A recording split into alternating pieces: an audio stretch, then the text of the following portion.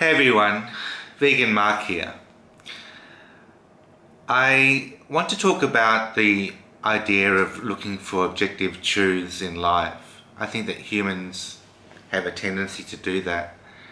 And I want to question how important that actually is. So I'm an involuntary client of Mental Health Authority and that means that I suffer a lot at their, at their hands and one thing that I wanted to think about was whether my life is actually has meaning or not, and whether that's a worthwhile thing to pursue. To be honest with you, I don't think that life has meaning. I have moved much closer towards nihilism um, because I realized that the lives of many, many trillions of animals slaughtered for human consumption um, and also a lot of wild animals suffer needlessly in a situation where nature does not treat us uh, with respect and nor do the exploits of humankind treat us with respect. So the question is really, is not so much what is our eternal truth, but does eternal truth even exist? So, um, I think that it's a it's a um, it's a blessing to be able to look for truths and to look for deeper meaning in our life. But I also think that that is, in many ways, a falsity in itself, because for the trillions of animals killed and exploited for their flesh uh, every year, there is no truth um, it's completely blank. So the question that I have to ask myself is what, where do I go from here? Uh, do I provide truth to the people that I'm dealing with? Do I just shut up? Do I pretend that nothing is important?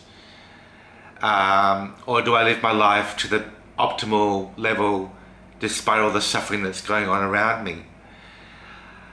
Um, my life is not as bad as um, it was for those suffering under the Jewish Holocaust, for example. It's not as bad as the animals that are slaughtered for their flesh.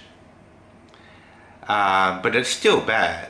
Um, nothing's going to stop going to deny that's the truth. Um, the fact that I have the opportunity to make this video is a blessing in itself. But how deeply and how much truth do I want to have in my life?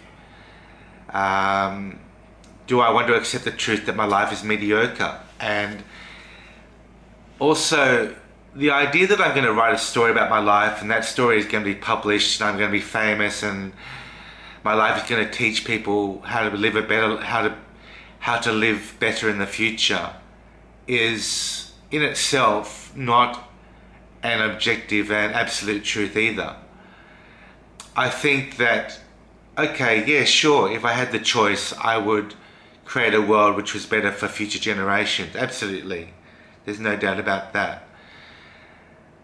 But how much value does it have in a society where where might is right for a lot of the time, where power is offen offensive to so many people, where where people are naturally unreasonable so suppose that in the year 3000, for example, a human is born into a world where everything is reasonable, where all his needs are taken care of.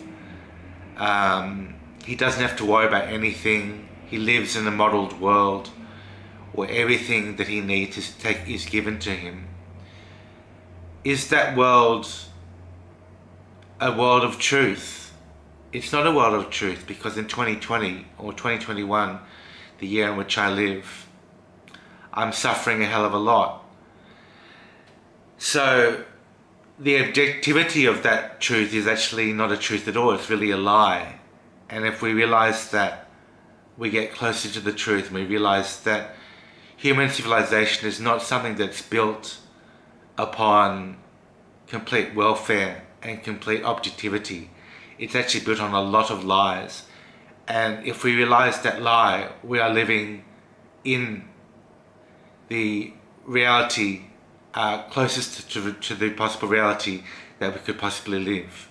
And I think that's um, most likely the closest we're going to live.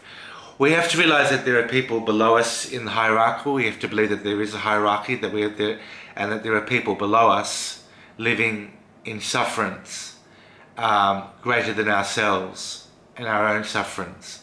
And there are always be people who are living in greater paradise than ourselves as well. Once we realize that, we will start to get closer to the truth, and maybe that will sustain us for a while. Maybe living every day as it comes is the only truth that we'll ever live to the fullest extent possible. So, yeah, I hope I've um, divulged a bit of my philosophy, and I hope that this will, will provide some value to people in the future. Okay, bye for now.